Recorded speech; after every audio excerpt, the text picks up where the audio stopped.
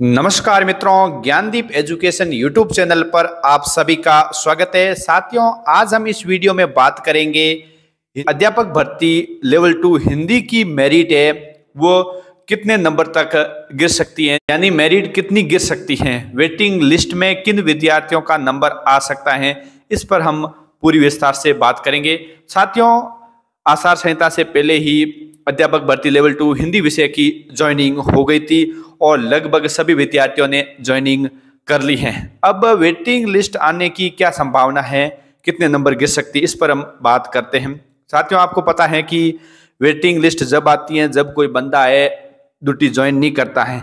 जैसे मान लो कि मेरा अध्यापक भर्ती में सिलेक्शन हुआ और मैंने वहाँ पर ज्वाइनिंग नहीं की है तो उस उस स्थान पर उसी कैटेगरी के बंदे की वापस ज्वाइनिंग होगी, तब उनके स्थान पर वो वेटिंग लिस्ट आएगी।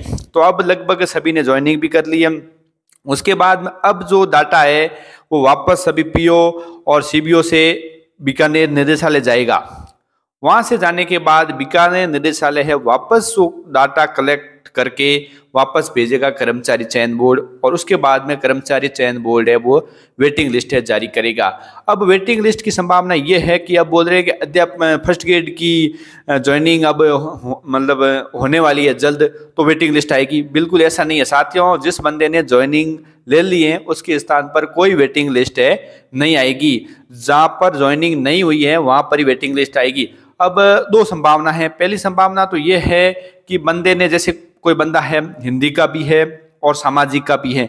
और दोनों ही जगह उनका सिलेक्शन हुआ है, दोनों ही पोस्टों पर उसका सिलेक्शन हुआ है तो वेटिंग लिस्ट आएगी। तो मान लो पहले बंदे ने सामाजिक ज्वाइन कर ली है या हिंदी ज्वाइन कर ली है तो उस हिसाब से यदि हिंदी ज्वाइनिंग कर ली है तो सामाजिक ही नहीं करेगा तो सामाजिक की उस पर वेटिंग लिस्ट आ जाएगी।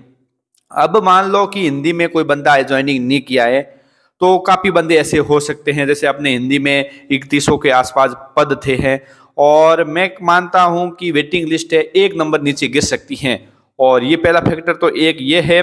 और दूसरा है, अभी जो हाईकोर्ट का फैसला आया जो मैंने पिछले वीडियो में आपको बताया था कि यदि कमेटी जाँच करके कृष्णों को वापस कोई उत्तर बदलती हैं और किसी के सही हो जाते हैं तो उनको दो नंबर का, चार नंबर का फ़ायदा हो जाता है तो उनका नंबर वापस आ जाएगा। और अलग से हमने जो वेटिंग लिस्ट की बात की है तो वेटिंग लिस्ट भी आएगी साथियों, जिसमें एक नंबर तक मैं मानता हूँ कि कोई भी बंदा किसी भी कैटेगरी के अंदर है।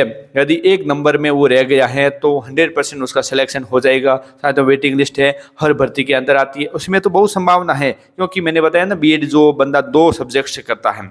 तो दो सब्जेक्ट से करता है तो वेटिंग लिस्ट ज़ाहिर सी बात है। और ऐसे टैलेंट भी बंदे हैं जो जिसका दो विषयों में मेरे भी साथी थे, काफ़ी साथी है, जिनका हिंदी में भी हुआ और सामाजिक में भी हुआ। सामाजिक में भी हुआ और इंग्लिश के अंदर दो दो सब्जेक्ट में उनका सहन हुआ है तो उनकी स्थान पर वेटिंग लिस्ट आने की तो संभावना ही है। तो आपका मतलब बिल्कुल आपको फ़िक्र नहीं करनी है, आपके यदि पॉइंट पचास है और एक नंबर तक आपके यदि नंबर है तो आपकी वेटिंग लिस्ट है, आपका सिलेक्शन श्योर हो जाएगा।